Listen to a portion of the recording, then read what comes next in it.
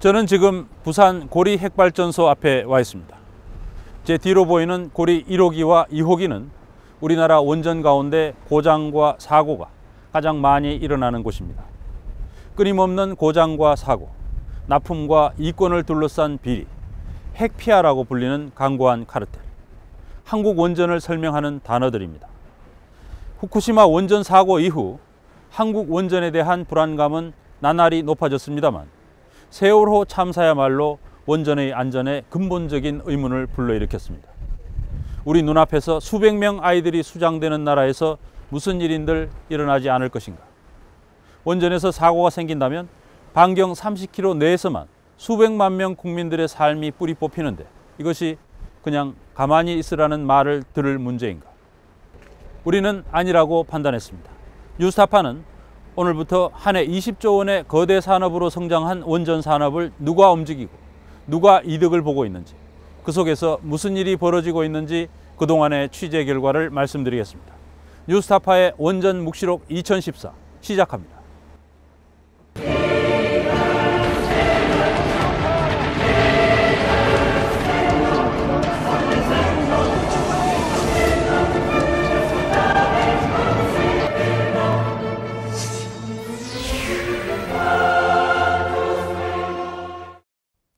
오늘은 먼저 안전 문제입니다.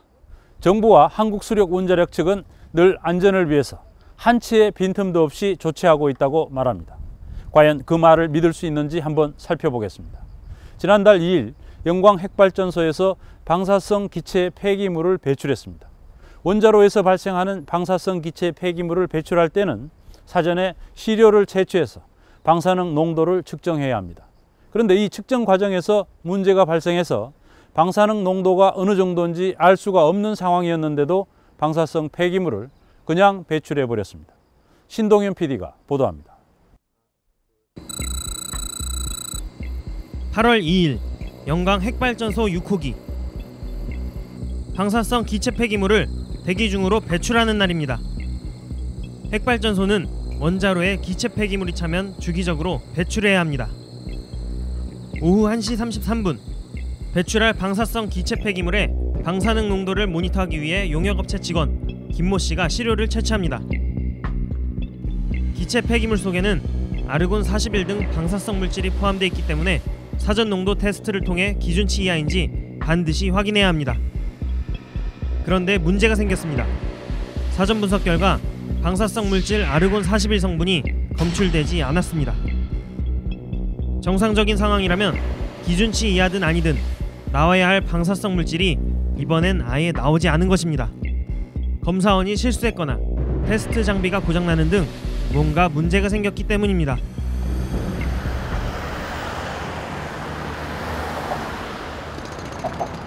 비유하자면 최고 시속 100km로 제한된 도로에서 과속 단속을 하는데 달리는 차량의 속도가 0km로 나왔다는 겁니다.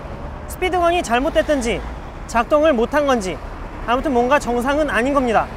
이처럼 핵발전소에서 완벽하게 통제해야 할 방사성 폐기물 관리에 구멍이 뚫린 겁니다. 원자로 건물 안에 음, 핵분열로 인해서 생성되는 핵, 음, 아르곤 41이 존재를 할 거고 8월 2일 분석 결과에 아르곤 41이 안 잡혔습니다. 어, 이거는 분명히 잘못된 분석을 한 거죠. 어, 샘플을 잘못 채취를 했다거나 그럼에도 영광 핵발전소 내 그 누구도 이를 문제 삼지 않았습니다. 오후 4시 58분 방사성 기체 폐기물 배출을 위한 배기 펌프가 가동됩니다. 오후 5시 42분 폐기물 배출이 완료됩니다. 40여 분 동안 외부로 배출된 기체 방사성 폐기물은 1699 세제곱미터. 결국 방사능 농도를 제대로 측정하지도 않은 채 방사성 기체 폐기물을 대기 중에 배출한 겁니다. 실질적으로 아르곤 41은 계속 나왔는데 미숙련공들은 기체 샘플을 잘못해 가지고 계속 아르곤이 안 나왔다라고 분석을 해버리면은 나중에 나온 데이터를 봤을 때 전혀 다른 데이터가 나와버리는 거죠.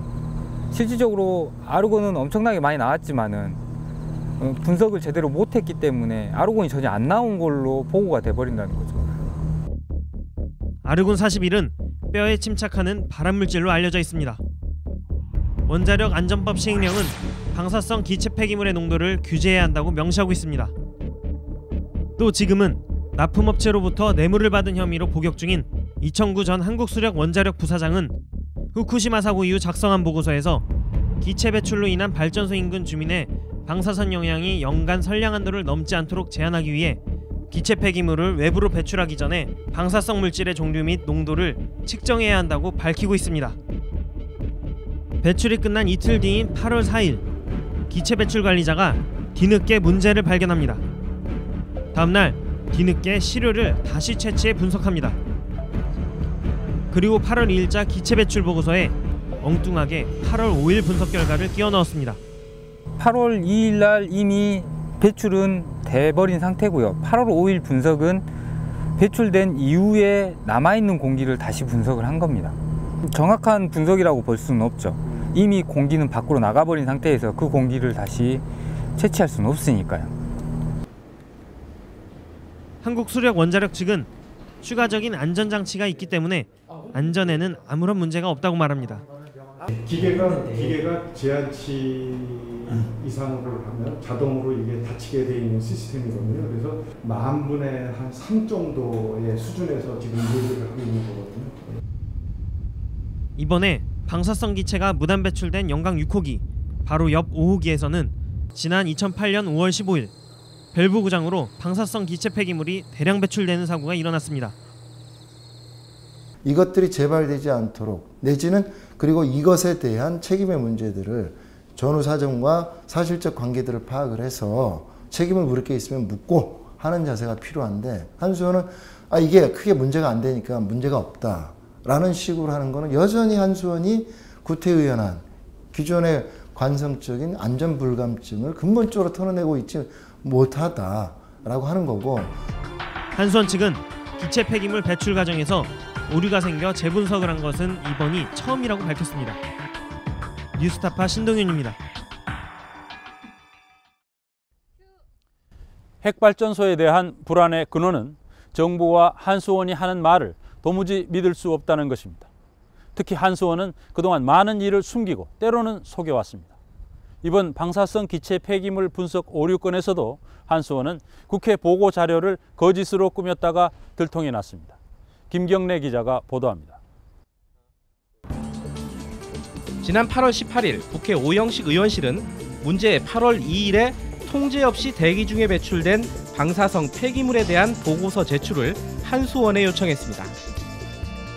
이후 한수원이 국회에 제출한 보고서입니다. 8월 2일 방사성 기체 폐기물을 배출했고 3일 뒤인 8월 5일 뒤늦게 방사능 농도를 재분석했다고 돼 있습니다. 또 6일 뒤인 8월 11일 재분석한 측정값을 한수원 전산 시스템에 입력했다고 나옵니다. 하지만 뉴스타파는 별도로 입수한 한수원 내부 문서를 통해 적어도 8월 19일까지는 방사능 농도 재분석 값이 입력되지 않았다는 사실을 확인했습니다. 한수원이 거짓말을 하고 있는 겁니다. 그래서 한수원 측에 한수원 전산 시스템에 자세한 로그 기록을 요청했습니다. 그제서야 한수원 측은 재분석한 측정값을 국회가 자료를 요청한 이후인 8월 20일 입력했다고 말을 바꿨습니다. 요구하는 자료가 굉장히 좀 이제 많았었습니다.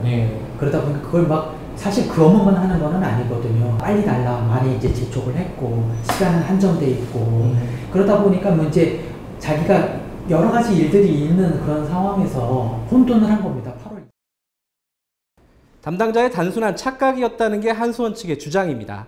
그런데 지난 8월 달에 영광 6호기의 기체 폐기물 배출은 딱 하루였습니다. 그리고 담당자 3명의 데이터 입력과 결제는 20일, 22일, 25일 3일 동안 순차적으로 이루어졌습니다. 전산 로그 기록에도 20일 날 작업한 기록이 분명히 남아 있습니다. 하지만 국회가 자료를 요청하자 11일 날 입력을 했다고 허위로 보고를 했습니다. 담당자 3명이 모두 입력 시점을 11일로 착각을 했다는 것은 상식적으로 납득하기가 어렵습니다. 업무 처리를 빨리 한 것처럼 보이기 위해 국회 보고를 허위로 꾸몄다는 의심이 드는 대목입니다. 뉴스타파가 입수한 8월 6일자 또 다른 한수원 내부 문서입니다. 8월 2일 사고를 경락 건물 배기를 위한 시료 채취 및 분석 과정에서 업무 미숙에 따른 분석 오류가 발생된 것으로 판단한다고 규정하고 있습니다. 하지만 취재에 들어가자 한수원 측은 분석 오류로 판단한 것은 담당자 개인의 생각일 뿐이라고 둘러댑니다. 8월 2일 날 그, 저 기체 폐기물 배출이 뭐 테스트 오류가 난 거잖아요. 어떤 거를? 테스트. 어 그거는 아닌데요. 왜, 왜? 테스트 오류라는 거는 네. 무슨 얘기를 하시는지 테스트 오류는 아니고 분석 오류라고 해야 되나요, 그러면?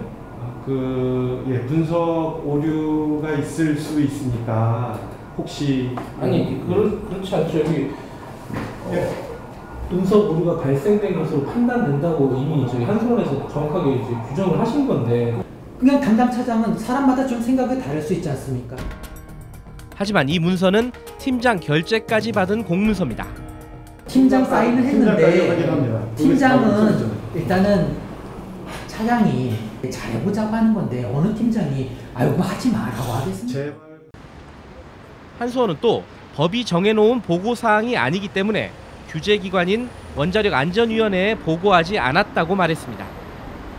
그러면서도 내부적으로는 시료 분석을 담당한 방사선 관리 용역 업체에 대해 재발 방지를 위한 대책 수립까지 요구했습니다. 아, 한수원이 기본적으로는 어떤 사고가 생겼을 때 첫 번째 먼저 그 사실을 숨기려고 한다. 이게 지난 수십 년 동안 해온 일이고 지금도 어, 그런 일이 그대로 이루어지고 있다는 거고요. 제가 이제 원자력 안전위원회 활동을 하면서도 뭐 한수원이 사실을 그냥 은폐하거나 숨기려고 하는 일은 왕왕 있었어요. 근데 지금도 뭐 그런 일이 이루어지고 있다라는 거라고 확인할 수 있는 거죠.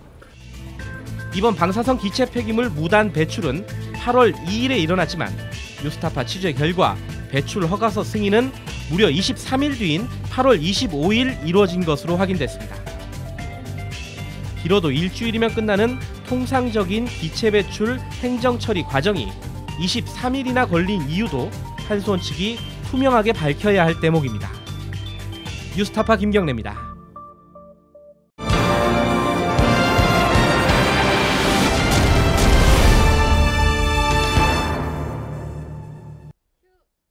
문제는 한수원이 아무리 중요한 사안을 숨겨도 그것을 외부에서 알아내는 것은 거의 불가능하다는 것입니다.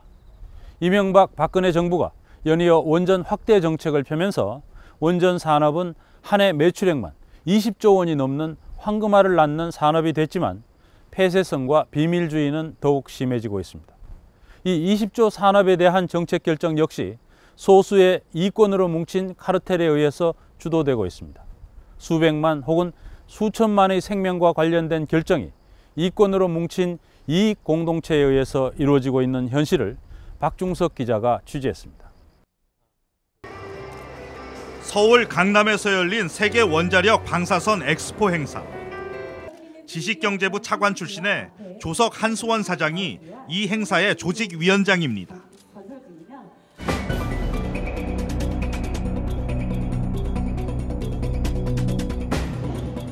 전 세계적으로 에너지 사용량은 급증하고 있으며 원자력 말고는 이를 충당할 수 있는 현실적인 에너지원이 아직은 없습니다.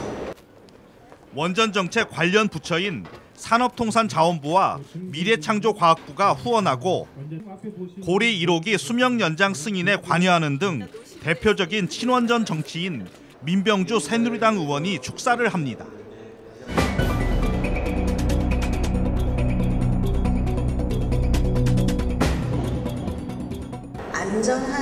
안전한 원전의 이미지로 새로운 시장 창출과 국내 기업의 성장 그리고 산업 활성화에 기여하는 기폭제 역할을 담당해 주시기를 부탁드리고요. 저도 국회에서 열심히 어, 지원하고 노력하겠다는 말씀 드리겠습니다. 지난달 한수원과 2조 3천억 원대 원전 건설 계약을 맺은 두산중공업. 지난 7년 동안 370건이 넘는 원전 관련 연구 용역을 받은 한국원자력연구원. 정부 관료와 업계, 학계와 연구기관, 그리고 친원전 정치인 등 원전 관련 각계 인사들이 모였습니다. 2008년 이명박 정부 출범 이후 원전 산업은 고속 성장을 거듭했습니다. 2007년 2조 5천억 원이던 원자력 공급업체의 매출액은 2012년에는 5조 2천억 원대로 성장해 127%, 즉 두 배 이상 늘었습니다. 한전과 한수원의 발전 매출액을 합산할 경우 2012년 기준 원전 산업 전체 매출액은 20조 원이 넘습니다. 5년 전보다 67% 증가했습니다. 박근혜 정부 들어서도 원전 산업은 탄탄대로입니다. 2035년까지 16개를 증설해 핵 발전소를 39개까지 늘린다는 계획을 올 초에 심의 확정했습니다. 2011년 최악의 후쿠시마 원전 사고 이후 독일 등 세계 여러 나라에서 탈핵 움직임을 보이고 있지만 한국은 여전히 원전 확대 정책을 고수하고 있습니다. 여기서 나오는 막대한 이권은 소수의 원전 업계가 독차지합니다. 원자력 산업계 입장에서 보면 이 시장은 굉장히 크고 또 더군다나 이미 진입한 업계 입장에서 보면 안정적이고 별도의 어떤 경쟁이 필요 없는 사실상의 어, 그 별다른 조치를 취하지 않아도 일정한 수입을 가질 수 있는 황금알을 낳는 어떤 시장이겠죠. 한수원과 정부 등 원전 당국과 기업 사이에 이익 공동체는 더욱 강력해지고 있고 원전 정책과 운영 과정에 대한 폐쇄성과 비밀주의는 날로 심해지고 있습니다. 원자력 산업체에 그 참여하고 있는 그 기업들이 굉장히 좀 제한적이고 그 제한적인 기업의 어떤 사회이사라든가 고위 임원이 한전과 한수원의 특수관계 혹은 전직이거나 뭐 이런 관계에 있음으로 인해서 굉장히 좀 부패로 연결될 가능성이 크다는 점. 더군다나 이것이 어떤 그 감시와 견제 장치가 작동하지 않음으로써 그 투명성이 굉장히 훼손되고 있다라는 점이 좀 특징적으로 좀 보였던 것 같고요. 이것은 단순히 한국 원전의 특성만이 아니라 일본을 비롯한 이 주요 원전 산업체들이 갖고 있는 어떤 이익 공동체로 인한 어떤 그 부작용인 것 같고요. 30년 설계 수명이 끝난 월성 1호기에 대한 수명 연장 논의는 원전 당국의 비밀주의를 극명하게 보여줍니다. 결과를 즉각 공개하라! 한수원이 작성한 주기적 안전성 평가 보고서 등세 개의 기본 보고서는 월성 1호기 수명 연장 여부를 다루는데 결정적인 자료인데도 외부에는 공개되지 않고 있습니다. 심지어 수명 연장 여부를 최종 결정하는 원자력 안전위원들에게도 사본 열람만을 허용하는 등 정보의 접근을 제한해 놨습니다. 열람은 한계가 많아요. 저희가 가서 사무실에 가서 그 보면은 그 뭐 수백 페이지에서 수천 페이지가 될지 모르는 그거를 보고 그 자리에서 뭐가 문제가 있다고 판단한다는 것은 보여준다는 명분은 획득할지 몰라도 저희는 가서 실제로 할 수 있는 일이 제한적일 수밖에 없는 거죠. 이런 비밀주의로 인해 핵 발전소 내 중대 사고는 은폐와 축소로 이어지기 일쑤입니다.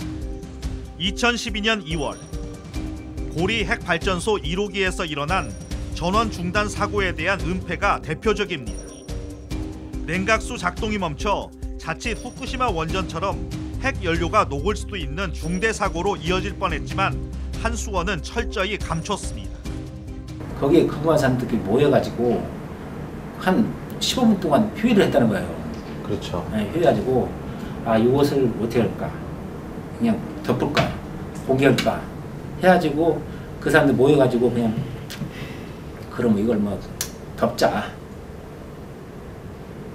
라고 저 결론을 내려가지고 모든 서류를 그냥 다 기록을, 기록을 남기지 않아버렸죠. 우리나라 원전 안전 관리의 가장 큰 문제점은 은폐하는 것. 밀실에서 소수의 어, 소수의 관계자들끼리 모여서 그들만 결정하는 것. 그것에 대한 결과는 수백만 명, 수천만 명이 피해를 볼 수 있는 건데도 불구하고 그 결정 과정은 100명도 안 돼요. 아마 10명, 20명도 안 될 거예요. 그 사람들이 모든 걸 다 결정해요. 뉴스타파는 지난 2개월 동안 원전 납품 기업의 매출액 추이와 한수원의 납품 계약 현황을 입수해 분석하고 최근 3년 동안 원전 비리 관련 판결문 150여 개를 조사하는 등 원전 산업을 둘러싼 정부 당국과 업계 그리고 정계와 학계 등의 유착 실태를 집중 취재했습니다. 이권으로 뭉친 이른바 핵피아의 이 구조가 대한민국 원전의 안전과 정책 변화의 가장 큰 걸림돌이라고 판단했기 때문입니다. 뉴스타파는 이번 취재를 바탕으로 특별기획 원전 묵시록 2014를 이번 주부터 연속 보도합니다. 뉴스타파 박중석입니다. 우리나라는 세계에서 핵발전소가 가장 밀집된 곳이고 핵발전소 주변에 가장 많은 인구가 사는 나라입니다. 이곳 고리 원전 30km 이내에는 340만 명의 국민이 살고 있습니다. 후쿠시마는 30만 명도 채 되지 않았습니다. 또한 대한민국은 불투명하고 무능하기로 세계 수준의 정부를 갖고 있습니다. 게다가 부패한 핵폐하들은 먹잇감을 가리지 않습니다. 이대로는 안 됩니다. 뉴스타파의 원전 묵시록 2014 다음 주에 계속 이어집니다.